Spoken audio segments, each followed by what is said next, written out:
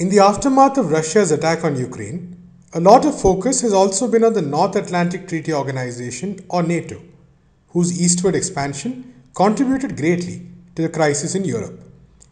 Anti war groups across the world have condemned NATO's activities in Europe in the run up to and after the war. What role has NATO historically played across the world since its foundation? What was the context in which it was formed?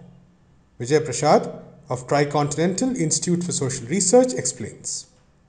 NATO or the North Atlantic Treaty Organization was set up in 1949 as part of a series of treaty organizations the United States set up, uh, going from the Rio Pact of 1947, which allowed the United States to have essentially um, you know influence and military projection across the Americas, uh, going from there to the Manila Pact which allowed the United States to set up bases in the rim of Asia. That was in 1954. And then the Baghdad Pact, which allowed the United States to set up bases in central uh, part of, of West Asia. Uh, look, NATO was just one of many um, you know platforms for the United States to extend or project its military power out of the US territory, uh, build bases around the world, and so on.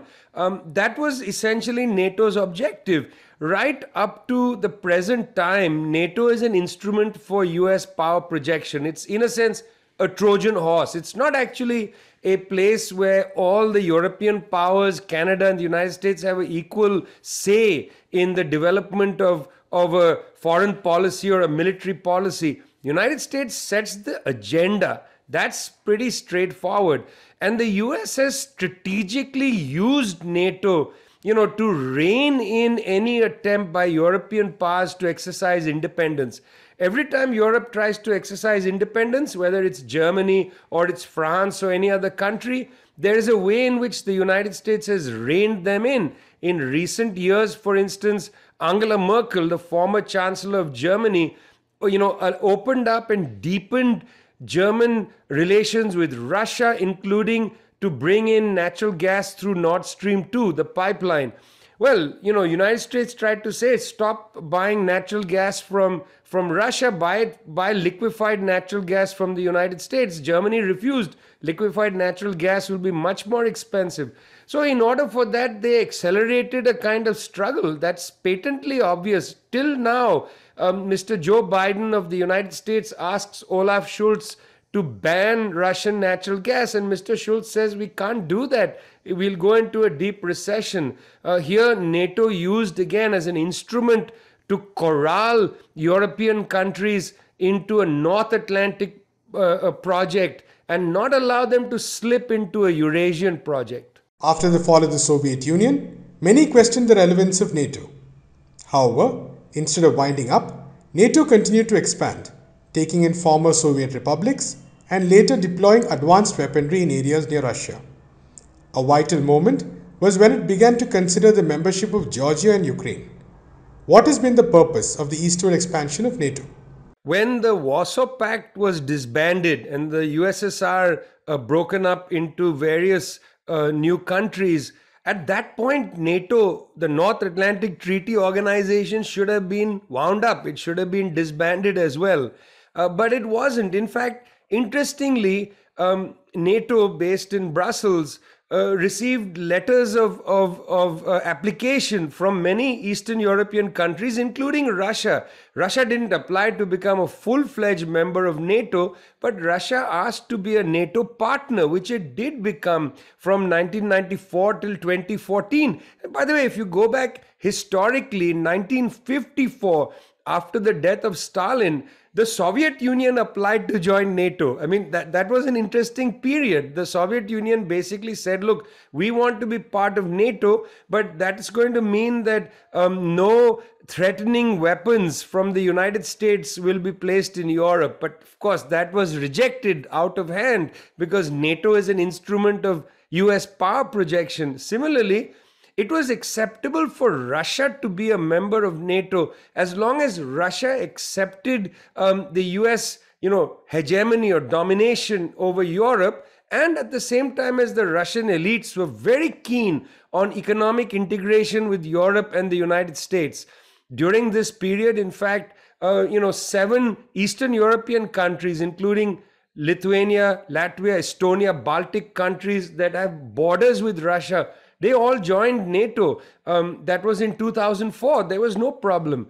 The problem isn't just NATO. The problem is if you are not going to allow yourself to be a subordinate ally of the United States, then it becomes a question. And wrapped in all this is the withdrawal by the United States or the scuttling of two important treaties that gave Russia a sense of security. These were the anti ballistic missile treaty, which the United States scuttled, and then the Intermediate Forces Treaty, the INF, very important treaty because that basically said that no intermediate nuclear weapons uh, should be there, especially in this case in the European theater. But by withdrawing from anti ballistic missile, withdrawing from the INF treaty, uh, the United States basically messaged Russia that we could move uh, intermediate nuclear missiles into Ukraine or into Latvia, Lithu- Lithuania. Those missiles will have a flight time of under five minutes to major Russian cities. This is actually what terrified the Russians. That's why they were asking for security guarantees. It's not merely NATO's eastward expansion, it's a question of whether Russia wanted an independent position in the world, and then, secondly, the West, and particularly the United States, driving a policy of instrumentalizing nuclear weapons in Europe and threatening Russia quite directly. The maneuvers of NATO vis a vis Russia are inseparable from the policies of the US towards China. How can the current phase of NATO be understood with reference to the attempt to encircle China and the rising tensions in the Asia Pacific region? You know, after 9 11, which is the um, 11th of September 2001, when the Al Qaeda uh, people attacked the United States, after that period, US strategy, particularly under George W. Bush, his, his 2002 document on US grand strategy, US strategy was focused on what was called the war on terror. That was the principal focus. That ran for about 20 years. Few years ago, the United States began to shift out of the war on terror mentality and US strategic documents directly said that no, no longer is the war on terror the principal problem. The principal problem is actually the threats posed to the United States by China and Russia. So focus of attention no longer on black sites and on you know Guantanamo and, and fighting off uh, Al Qaeda here, there, and everywhere. The focus now is old fashioned military conflict against China and against Russia. And in line with that assessment, United States upgraded the Quad, which includes Japan, India, Australia. United States pushed for the AUKUS agreement with Australia and the United Kingdom to sell nuclear powered submarines to Australia. Uh, the United States then accelerates uh, this whole thing about uh, the intermediate nuclear missiles, the um, anti ballistic missile treaty, putting pressure on Russia, and so on.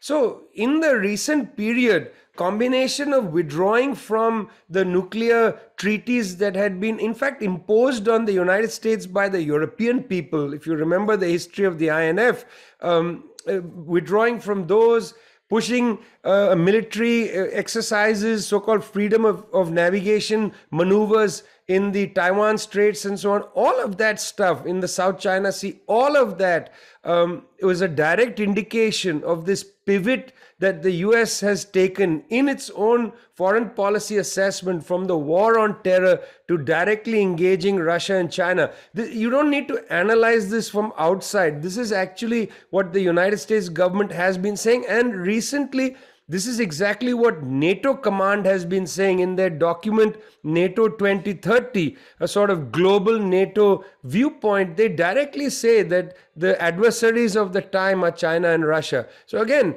we don't have to do much analysis. This is right there in their own documents.